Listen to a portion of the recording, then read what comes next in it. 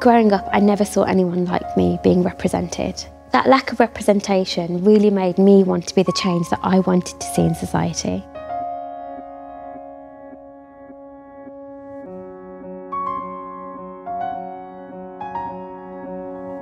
I wanted people to think if she can do it, then I can do it.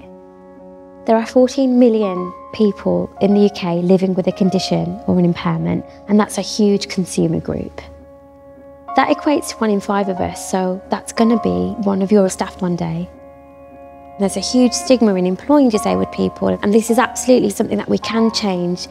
Employees with conditions and impairments will offer a totally unique insight that businesses won't have ever even thought of before just because of their own lived experiences.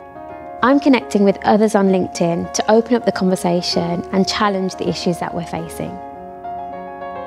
I'm in it to make work accessible for all.